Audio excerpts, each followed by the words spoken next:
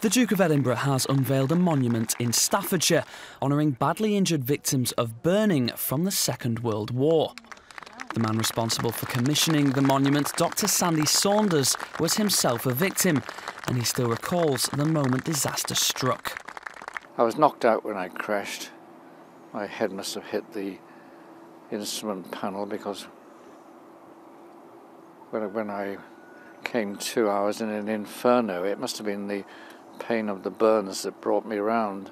The memorial has been dedicated to members of the Guinea Pig Club, formed in 1941 by men being treated for burns at East Grinstead's Queen Victoria Hospital in Sussex.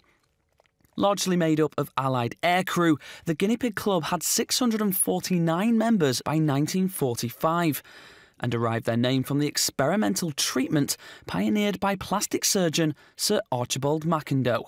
These were guys had been brave. Many of them had, had been burned in battle. They, they, uh,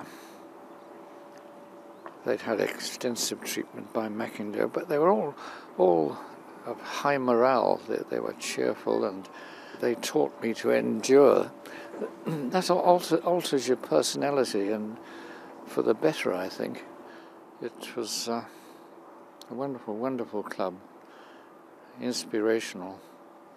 McIndoe died at the age of just 59 in 1960, and since then, Prince Philip has served as the club's president. But the memory of the man whose pioneering mind changed the lives of so many afflicted, and the brave serving men who playfully referred to themselves as his guinea pigs, will both live on here at the National Memorial Arboretum. I think it is quite utterly remarkable that we are now uh, 56 years on from his death, um, that we can generate the sort of interest in, for instance, what's happening here today uh, in this particular project.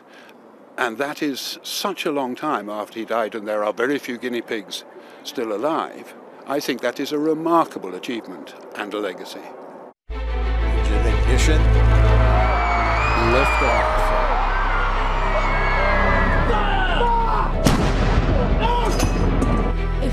represent women in politics